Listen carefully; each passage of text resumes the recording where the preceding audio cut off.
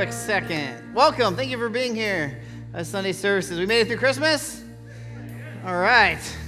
Well, thank you for being here this morning. If this is your first time, uh, we'd love for you to fill out a Connect card so we know you're here worshiping with us uh, this morning. If anyone has a prayer request, use these cards for that purpose. You can fill this out during the service with the pins and the seats, uh, and then drop it in our offering bucket. We're going to pass a little bit later in the service, or take it to our information desk out in the middle of the atrium on your way out uh, today. A couple quick announcements I have.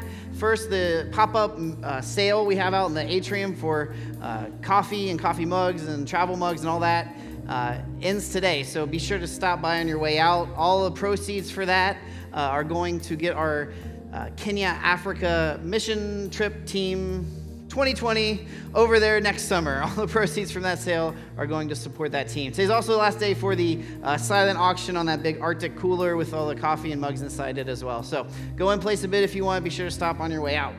Uh, Financial Peace University, Dave Ramsey's Financial Peace University is starting in January. We're going to run it on Tuesday nights here at the church for nine weeks in a row. If you want to be a part of that, there's details in your bulletin. Uh, registration for that is completely online. Go to hopechristianchurch.com, the events page, you'll find the registration link uh, on that page. Uh, we are in need of some volunteers uh, in one specific area. We have communion here every single week, and that takes prep work. It takes filling up all those little cups. It takes uh, prep work to uh, just pass it down the aisles. We have volunteers that just uh, bring it down and serve it uh, to us as a body every week. So, we need volunteers in all those areas. If you can help, either serve during the service and help distribute the elements, or if you can come early and actually prep them uh, as well, uh, please sign up at the information desk. There's sign up sheets for both of those opportunities. Okay, that's all I have. So let's stand back up, say hi to somebody, tell them if you're still eating Christmas cookies.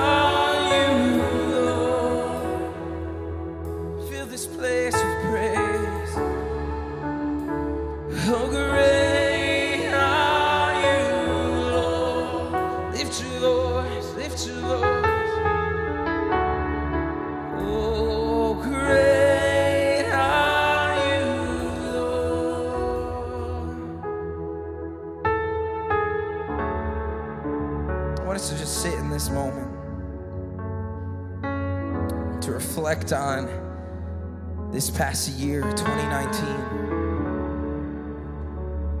and all that God has done for us, all that God has done for you in your personal walk with Him, in your household, and those that you know. I just want to reflect on the faithfulness of God. God,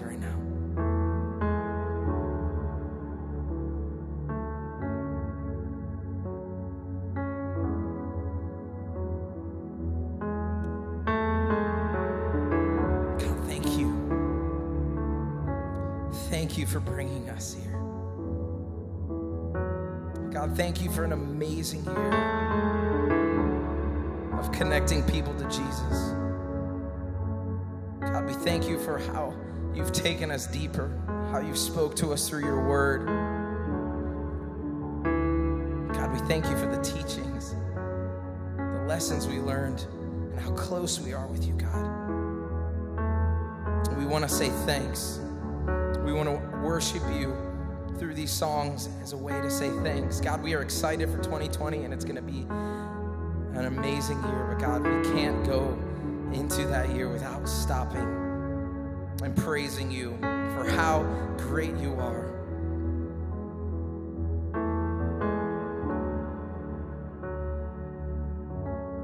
God, we thank you for never leaving us. God, we thank you that your presence is always with us. Thank you for the continued reminder that the cross is our hope of salvation. Thank you for Jesus.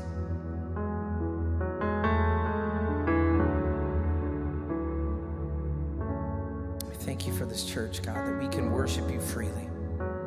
And may we never take that for granted. May we never take this space for granted. But God, may we use it always to connect people to Jesus. Always turn it to reflect on you as worship, God. Everything we do for you is worship, God.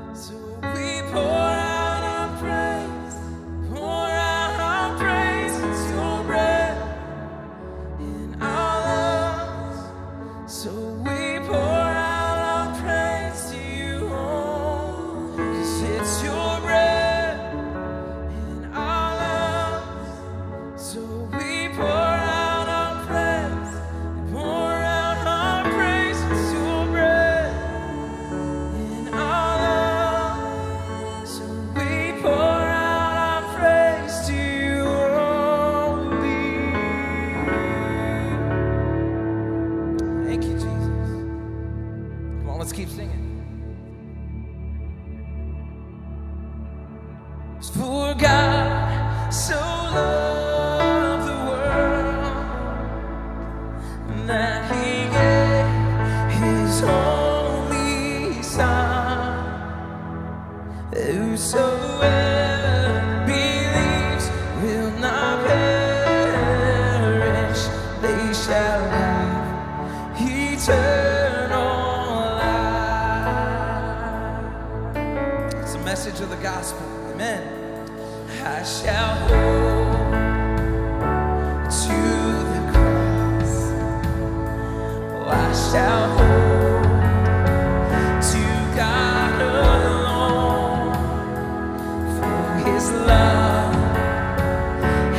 has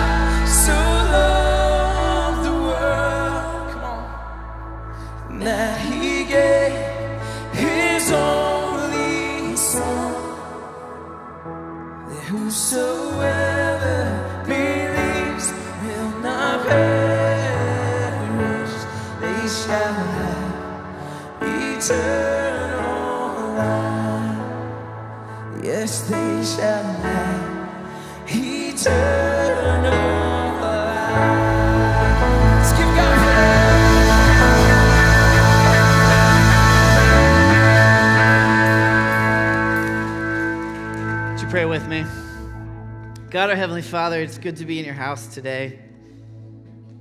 Father, humble our hearts right now as we worship you, as we pray, as we sing songs, as we take communion together, Father, as we hear your word preached. May this hour of worship be honoring to you. We're thankful for Jesus Christ this morning. We pray everything in his name. Amen. Please go ahead and have your seats. So earlier this week, I was at a coffee shop, and I don't know if you've seen in coffee shops where they have two tip jars out, and each tip jar is labeled with an opposing idea, and you're supposed to tip in the one that you support, like you know Ohio State and Michigan, and then your money goes in the one that uh, you would vote for. I saw one this week that had to do with New Year's resolutions. Uh, the first one said "New Year, New Me," and the other one said "No way, I'm perfect."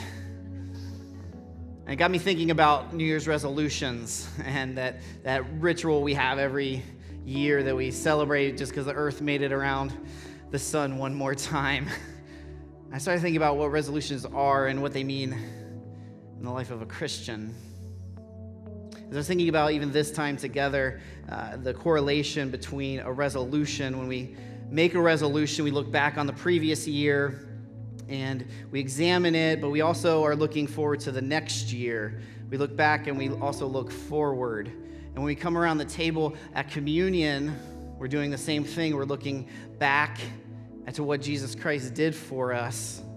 But we're also looking forward to the future about what Jesus Christ is going to do for us. You know, as David said, we're, we're excited, God, for what you're going to do in the next year. As I look back in 2016, I got to preach a little bit more, and uh, one of uh, the chapters I preached on was Philippians 3, and I want to read that section uh, one more time. It's not that I have already obtained this or I'm already perfect, but I press on to make it my own because Christ Jesus has made me his own. Brothers, I do not consider that I have made it my own, but one thing I do, forgetting what lies behind and straining forward to what lies ahead. I press on toward the goal for the prize of the upward call of God in Christ Jesus. You see, as Christians, uh, Colossians tells us that we are putting on Christ. We put off the old self and put on the new self, Jesus Christ. Making a resolution isn't a one time of year thing, making a resolution is a daily thing.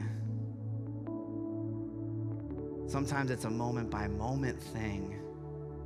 When we gather around the, the, the, table here for communion, we're making a resolution. We're saying, Christ has made me his own. And now I'm going to strive to be like Christ. When we're in, our prayer closets or we're at our study desk, deep in the Word, we're making resolutions. When we repent, we're making resolutions. We look back and say, Yeah, I, maybe I screwed up this year. This year didn't go quite as how I wanted it to. I have some regret. And that's where grace comes in. We don't have to live in our regret. We don't have to convince God that we're going to do good enough next year, that you'll love me more. God so loved the world that he sent his only son while we were still sinners. But as Paul says, Christ has now made us his own. And now we push forward and we strive for the upward call that's in Christ Jesus. Yeah, we make resolutions. Not once a year, though, moment by moment. Our servers are going to come forward, and as we share communion together, maybe there's a line in the sand that you need to draw and you, you're ignoring it. Maybe you just need to meditate a little today on God's grace. And know that He loves you so much, He sent His Son for you.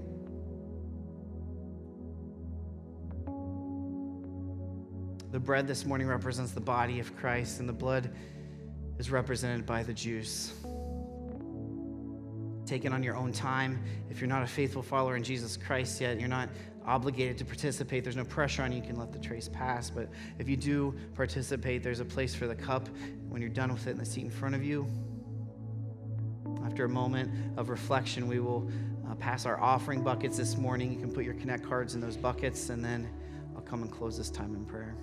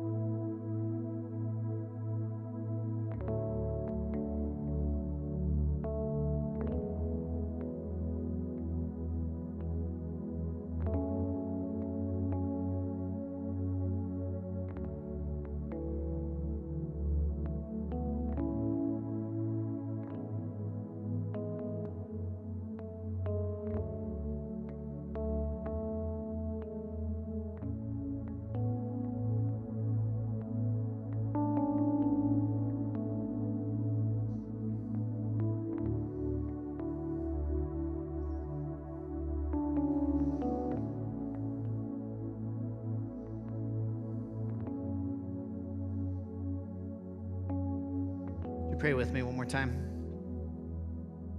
God, our Heavenly Father, thank you for this morning. Thank you for another day of life. We give back our, our prayers and our songs and our breath. We give back uh, financially, Father, from what you've given to us. Bless our time now, our, our focus, the meditation of our hearts. Uh, prepare our hearts now to hear your word and uh, to spring into action from your truth. It's in Christ's wonderful name that we pray everything this morning. Amen.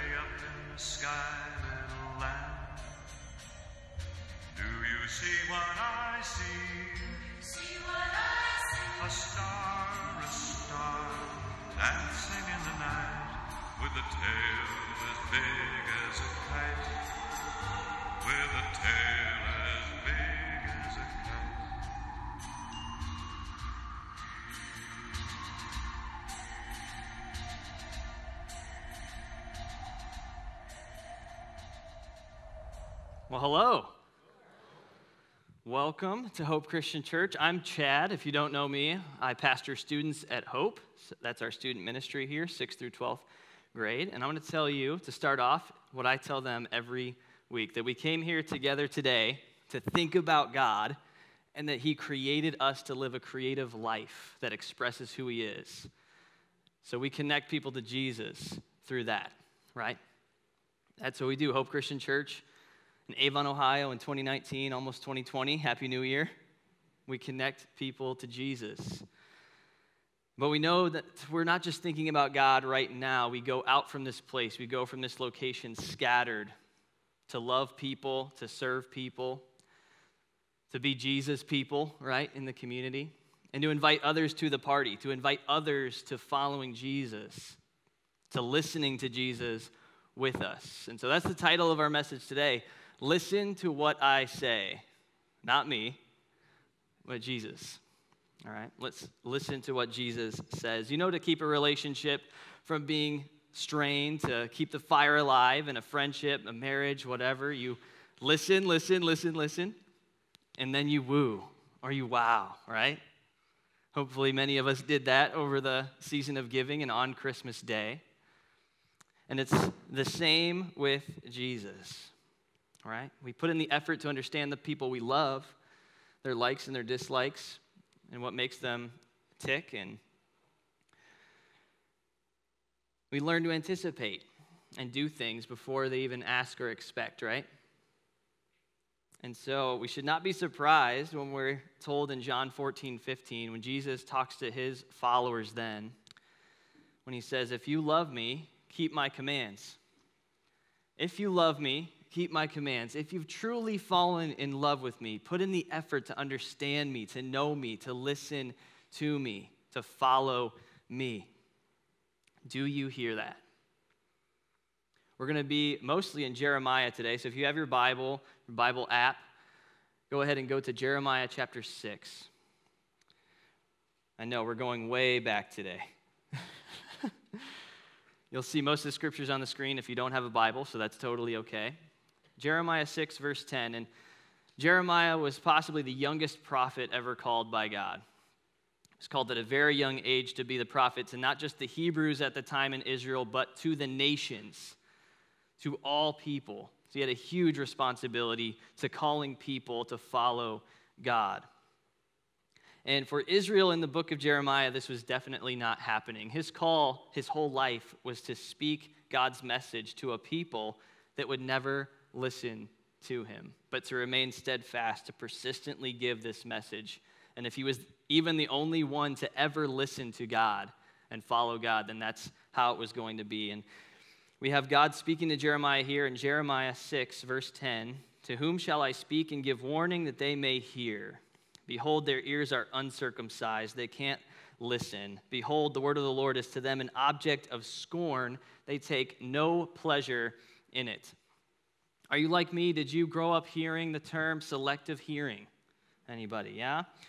Or maybe you're parenting your child that way and you're, you're saying that a lot. I grew up hearing, son, you have selective hearing, and that needs to change. I knew exactly when pizza was coming to the house. I knew exactly when I was going to a Cavs game. I didn't really know when laundry was supposed to be done, or most of my homework, or taking out the trash, anything that was fit that category, really. I just tuned my dad out to that. And so we have God pretty much saying that to his children here. Or even worse than that, you guys aren't listening to me at all. God is calling to his loved ones and they're not hearing it.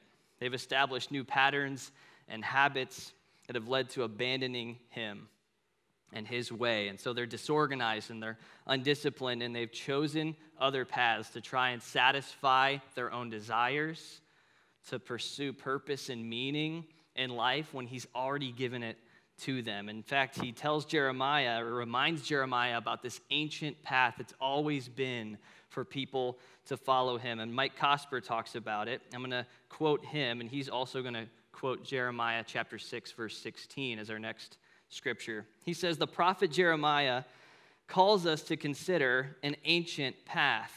And when he spoke those words, Israel had abandoned their God, and Jeremiah was inviting them to come home. Thus says the Lord Stand by the roads and look. Do you see it? And ask for the ancient paths where the good way is, and walk in it, and find rest for your souls. Let's continue to verse 19 with their response. But they said, We will not walk in it. I set watchmen over you, saying, Pay attention to the sound of the trumpet. But they said, We will not pay attention.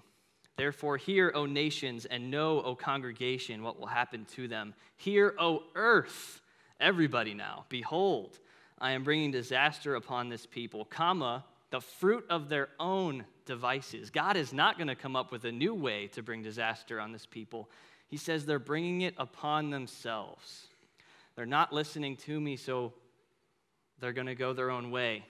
It's going to be fruitless, and they're going to receive evil habits without following me. Behold, I am bringing disaster upon this people, the fruit of their own devices or schemes, because they have not paid attention to my words, and as for my law, they have rejected it. And so God is pleading as a parent to his children the path I've already given you and set before you is where the good way is. And as they ignore and abandon this call to this path, and they neglect to fear God, and they plot out their own way. He says, well, they can have those paths, and they'll end up with the fruit of their own devices, and it's rotten fruit. It's not the fruitful ministry and life that they could have where the good way is. Do you hear it? There's this viral video that came out in November with Nick Foles. Maybe you've seen it, and maybe you remember Nick Foles. He was 30 years old, and everybody thought he was washed up already in the NFL as a backup quarterback for the Philadelphia Eagles. And then he went to the Super Bowl, right? Their starting quarterback went down with an injury. He took them through the rest of the playoffs, and he actually beat Tom Brady and the Patriots in the Super Bowl. Was actually the Super Bowl MVP and hoisted the Lombardi Trophy as a backup quarterback to start the year that year. And then this offseason, he got paid the big bucks.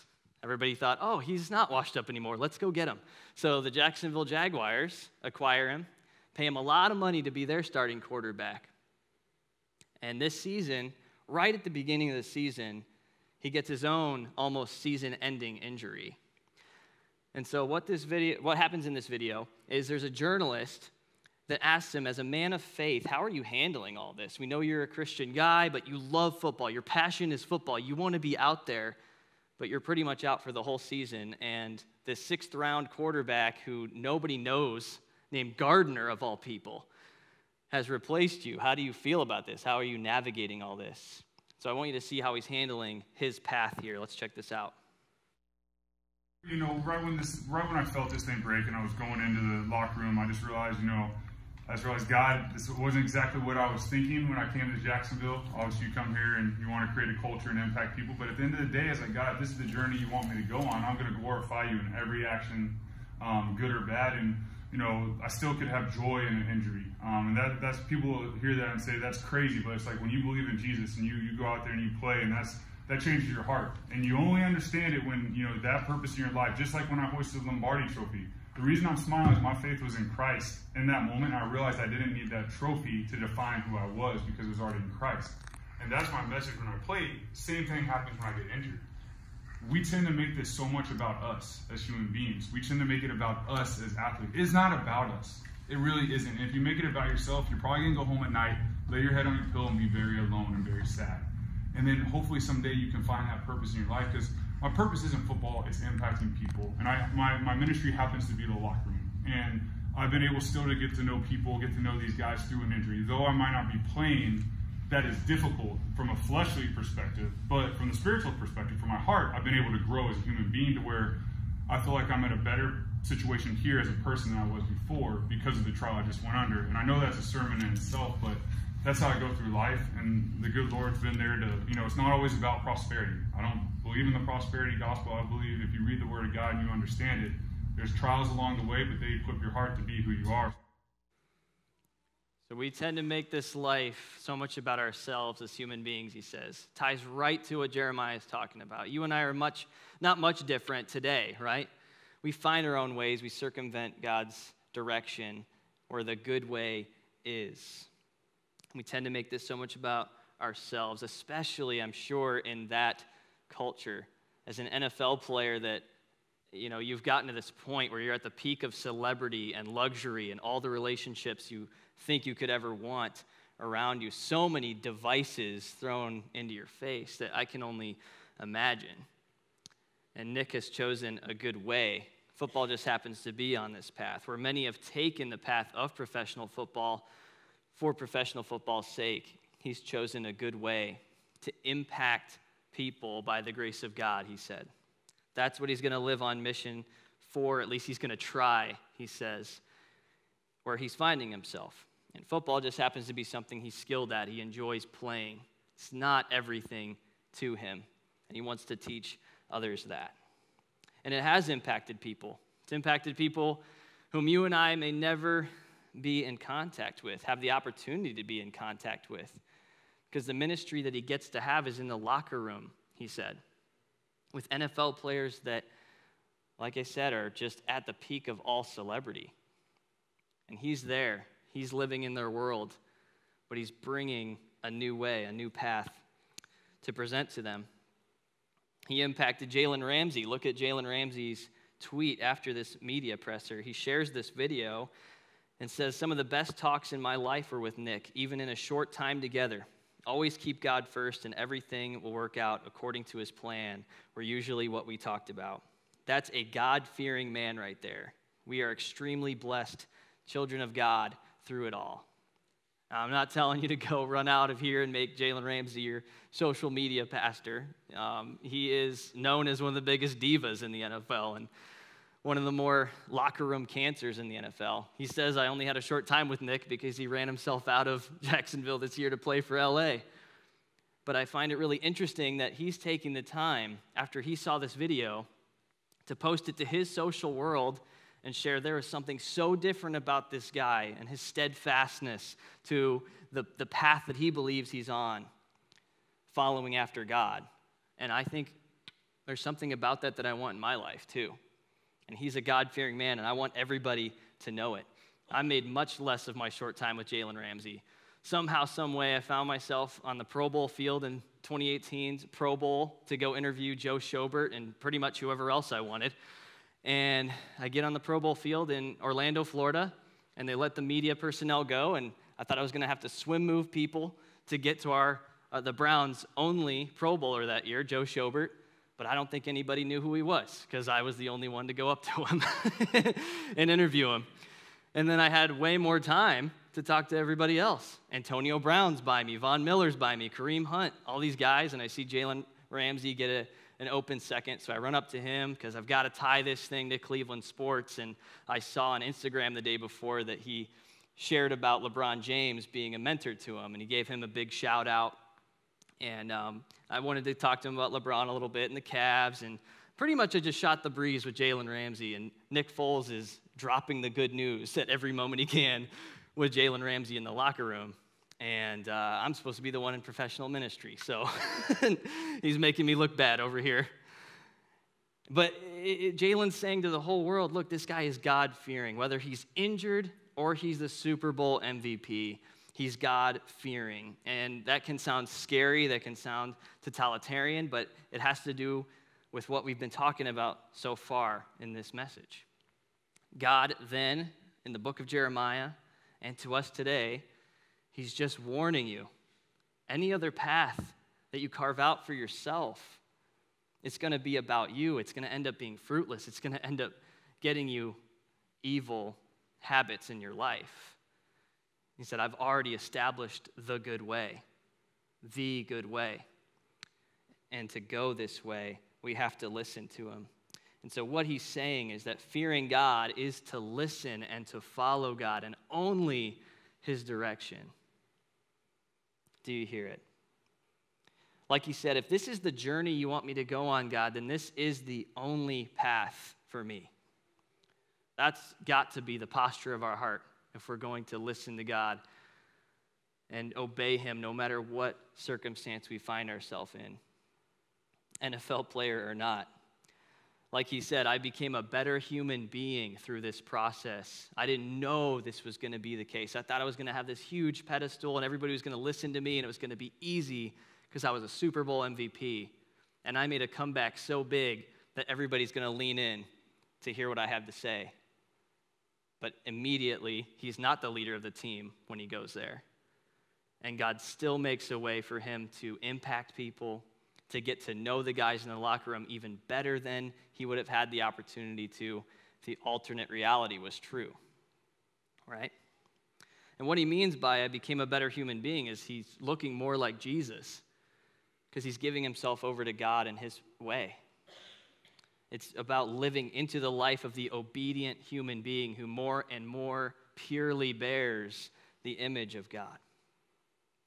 And I want to steal one last quote from this video. We're going to do this practice together as a church, as 11:45 a.m. service. Get out your phone or your bulletin or the notepad you brought or whatever you can take notes on. And we're going to steal this quote together and do a practice. He says, "My purpose isn't football, it's impacting people for God. Ours is going to be my purpose isn't fill in the blank, it's connecting people to Jesus. As Hope Christian Church in, 2020, in 2019, almost 2020, that's what we're called to, just like Jeremiah, just like Nick Foles. My purpose isn't fill in the blank, it's connecting people to Jesus. And I trust that God is already letting you hear what those fill in the blanks might be. And it might, it might be a long list. It doesn't have to be just one fill in the blank. You can make a whole list of what God is calling out from you. What are we tied to? What other paths are we trusting in besides His way? My purpose isn't fill in the blank, it's connecting people to Jesus. Do you hear it? Because whether we're exiled Israel, like in Jeremiah, or we are free citizens of the United States of America, called by God, you are to be the light to the nations. You are to be the light of the world to those around you. Romans 12:1 tells us to live as if we're living a, a living sacrifice, dedicating our lives to the authentic life with Jesus. And you can only do that by listening to God and obeying God and pursuing union with Him and following Him. Do you hear it?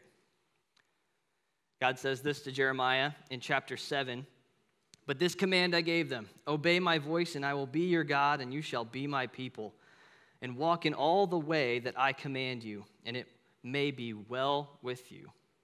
But they did not obey or incline their ear, but walked in their own counsels in the stubbornness of their evil hearts, and went backward and not forward. And from the day that your fathers came out of the land of Egypt to this day, I have persistently sent all my servants, the prophets, to them day after day. Yet they did not listen to me or incline their ear, but stiffened their neck. They did worse than their fathers. So you shall speak all these words to them, but they will not listen to you. You shall call to them, but they will not answer you. And so we get two things from that. One, when we turn our ears from God, our loved one. We get the return on our investment. We get a poor relationship with Jesus. We get the fruit of our own devices. And Jeremiah here is being told they won't even listen to you, but you continue steadfastly to listen to me and to follow me. Even if you're the only one, even if you're the only one in your workplace, even if you're, you're the only one in your family, even if you're the only one in your city, in your nation, Follow me and listen to me. And after years of Jeremiah saying to this people, Do you hear it? Do you hear it? Do you hear it?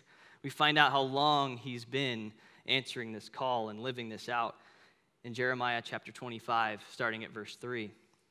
For 23 years, from the 13th year of Josiah, the son of Amon, king of Judah, to this day, the word of the Lord has come to me, and I have spoken persistently to you, but you have not listened.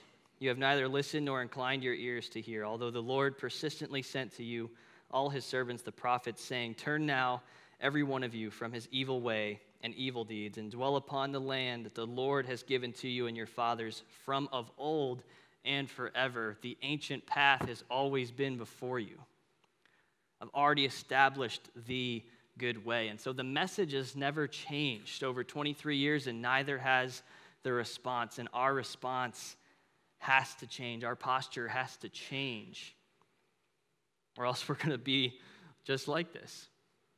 Told we have stiffened necks, told we ha- are trusting in our own counsels and our own stubbornness. And I don't want that, and I believe you don't want that. The path where the good way is has never changed. But today, we're fortunate we know the name of this path, the way, the truth, and the life. His name is Jesus, right? We know the way, the truth, and the life. His name is Jesus. And he speaks in Matthew 13, 17, bridging all of this together to his followers in the New Testament. He says, For truly I say to you, many prophets and righteous people long to see what you see and did not see it. Sound like Jeremiah? And to hear what you hear and did not hear it. And so here's the ancient path that will never change. Listen to what Jesus says. Listen to the way, the truth, and the life.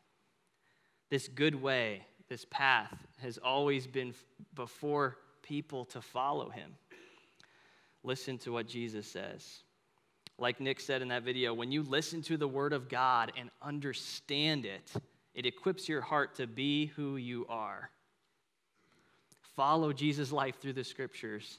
The living scriptures tell us what Jesus' life and ministry was like, how good he was, how he loved, what his mercy looked like, how gracious he was, how he gave, and how he lived as a living sacrifice. And we follow that. We listen to that. Do you hear it? Would you pray with me? Heavenly Father, we do ask that you would reveal to us the counsels and the stubbornness that have been on us, and that we would lay those down, that we would be free of those, God, and we would only choose your direction. God, if we're NFL players or anything else, that we would know that it's not about us, that it's not about the title that we have, it's not about the pursuits that we're going after, but living a life that connects people to Jesus is what this is about. Lord, I pray that you'd give us boldness to see that. Pray that that would be our only, or at least top resolution in this year, God, and that everything else would be filtered through that. In Jesus' name, amen.